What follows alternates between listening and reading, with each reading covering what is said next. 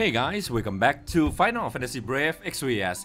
Today, Shyly have announced the new global exclusive hero, guys. Milia, this lady right here. Okay, she is um kind of like spirit-based user. She can tank and she can do magic damage as well, similar to uh, Xiaoyu. Okay, and uh, she come on April 11, uh, April 1st. I mean on this Thursday. So she look really cute though. But um, is she worth it? We have to look at her special ability, guys. Okay. Uh, let's have a look at her brave shift and stuff. So she she have bunny, man. Uh, Pikachu. That's a Pikachu, man. It's yellow. All right. uh, I don't know, man. I don't like her sprite though. She look kind of like a Maria, the green mage. But she might be OP, uh, who knows? Alright, and her limit burst look really cool, the bunny thing. Alright, look look really nice, she have a lot of eggs.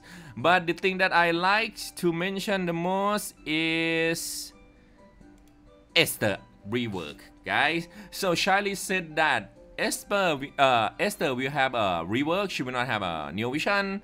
And I think a lot of you know this already. And her super TMR and her TMR got upgraded as well. So she get more like limit burst, I think. And attack is 51 is really good for TMR. I think it's top tier, man.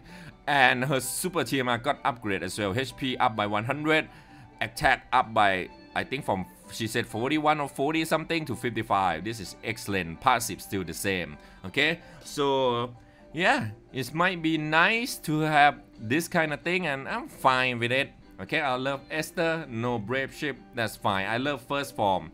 Stay in the first form better. And she said that her damage, okay, will get uh, in par with most Neo Vision. But we have to see though. And she get one Marcus ability as well. So boost lightning physical damage, deal proportion damage to all enemy, boost limit burst damage, and fill limit burst gets to caster.